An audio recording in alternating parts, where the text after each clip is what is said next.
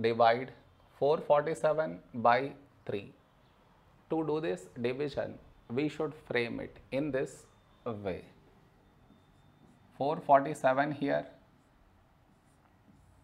3 here. This is your step 1. Next, here we have 4, here 3. A number close to 4 in 3 table is 3 ones 3.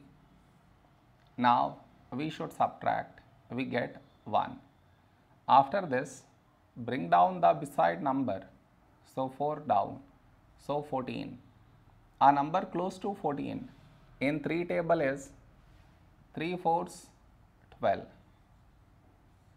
Now we subtract, we get 2. After this, bring down the beside number, so 7 down, so 27. When do we get 27? In 3 table. 3 nines 27. Now we subtract, we get 0. No more numbers to bring it down. So we stop here. This is our remainder, this is our quotient.